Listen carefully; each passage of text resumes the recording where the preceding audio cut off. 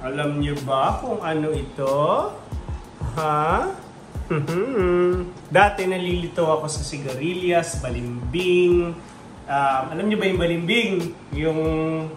Ano English ng balimbing? Um, star. Kasi mukha siyang star eh.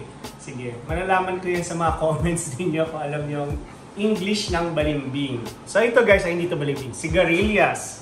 Dahil gagawa tayo ng Bicol S-Lex. Ako baka magayat sa akin yung mga taga Bicol. Sige, babalik ko na ulit. Bicol Expressway. Bicol Express at habang pinapainit natin ang ating mantika para sa ating, alam niyo na kung anong gagawin ko, fry. Wala pa, konti pa. Ipe-prepare ko na muna ang ating sauce ng Bicol Express. Simulan natin sa ating pinaka-importanting ginalagay. Oily. Not your face. Ano bang mas gusto nyo?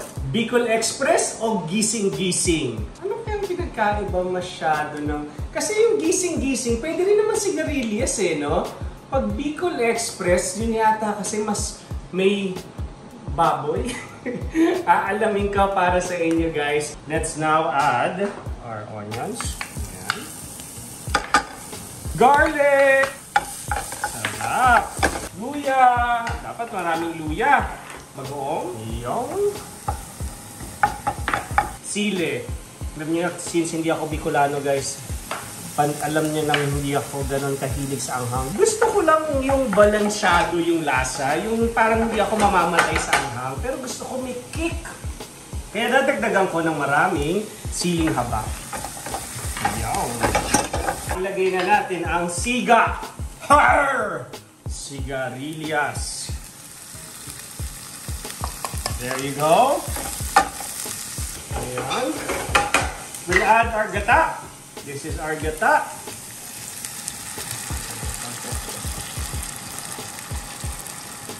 Ang bango! Naghalo-halo na naman ang bida sa kusina, ang gata, ang ang bagoong, ang bawang, ang onions. Tapos ngayon, tayo ay magsha-shock fry na. Let's check the temperature. Yung, pwede na. 180 degrees is the best, perfect temperature for frying. Shock frying. There you go. Add a bit of patis. Go. Sugar. And pepper. Pepper. Check niyo yung ating lechon kawali. Yan. Yan, tingnan niyo naman. Pag maganda ang pagkakaprito, look at that. Tikman natin ang kaligayahan. Sarap ng gata eh, no? O basta, ano, gata. Ako, dali-dali pasarapin.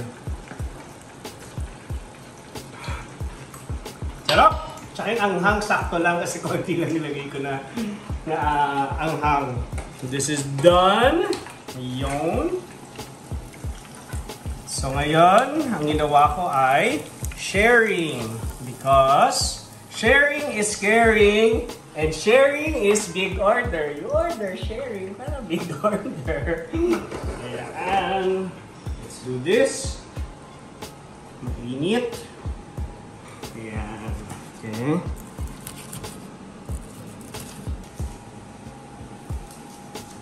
Let's add a bit of sauce.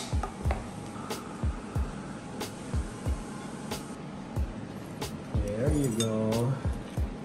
Ayan. Kung may fiesta sa inyo guys, ganitong portion ang o-orderin ninyo. Yan.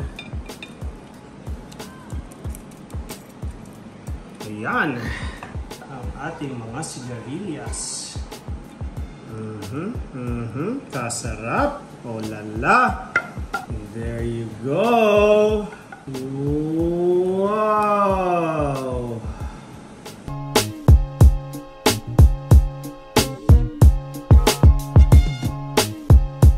Bicol Express. Hmm? Ang sarap, oh. Hmm? Look at that. Yung sigarilyas, ang crunchy pa.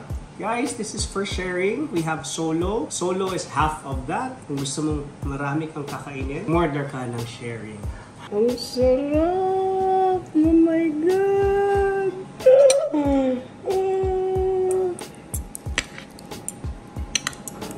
Guys, thank you for always watching my videos and also for always ordering. Maraming maraming salamat sa inyong lahat.